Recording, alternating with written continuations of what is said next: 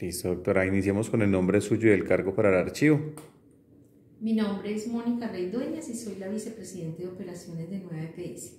Bueno, sobre el 2022 en cuanto a licencias e incapacidades, ¿qué podemos decir? Bueno, durante el 2022 Nueva EPS ha expedido más de un millón de incapacidades a sus afiliados. Eh, durante este año se han tenido unos picos importantes en los meses de junio, normalmente también en diciembre, generados pues por las festividades obviamente, las salidas a vacaciones y eso hace que ah, se presenten algunos picos. Hay también hay algunos temas climáticos, ambientales que afectan la expedición de incapacidades y de acuerdo a eso eh, se comporta nuestra formulación.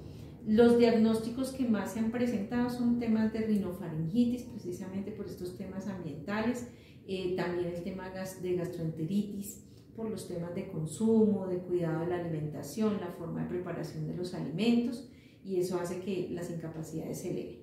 Tenemos también la cobertura de las licencias de maternidad. Nueva EPS en el año 2022 ha reconocido a papitos y mamitas licencias por encima de los 35 mil eh, expediciones, eh, dando la cobertura, pues la tranquilidad que requieren los padres cuando se presenta el tema de los nacimientos. Eh, muy importante recomendar a nuestros afiliados que cuando se tienen incapacidades que superan los 180 días ya hay que tramitar ante el fondo de pensiones para que allí nos puedan hacer los análisis, dar el cumplimiento de requisitos y tener la cobertura por pensión si es necesario la salud lo amerita.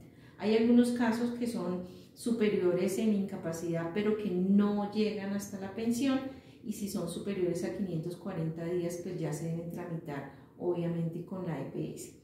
Entonces, así, en el año 2022, Nueva EPS pues continúa acompañando a los afiliados cuando presentan estos tipos de problemas de salud y tienen que ausentarse de su trabajo y ausentarse por el nacimiento de sus bebés, que es una noticia muy positiva para ellos.